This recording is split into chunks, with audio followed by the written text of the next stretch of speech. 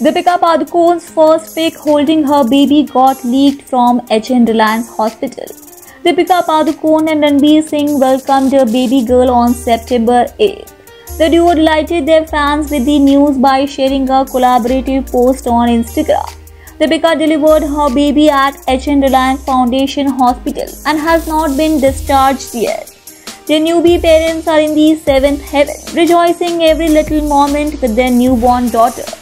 Ever since Deepika Padukone and Ranveer Singh announced the birth of their daughter, their fans have been eagerly waiting to get a glimpse of the baby girl.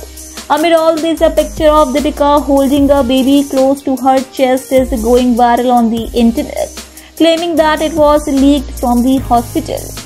However, not many know that the alleged picture of Deepika holding her daughter is fake.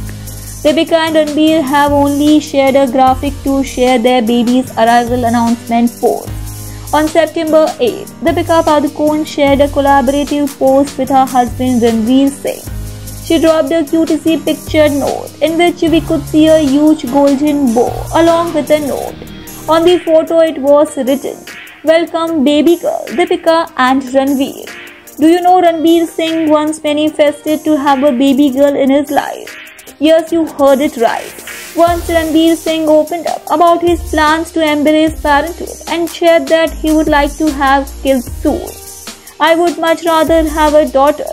I think they are so much nicer, kinder, more intelligent, more involved. I much prefer the feminine energy.